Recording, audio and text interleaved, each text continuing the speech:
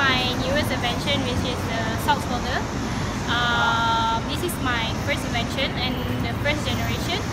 Uh, it is portable. You can bring it anywhere, and the function is to fold socks. Can you tell how the idea came about?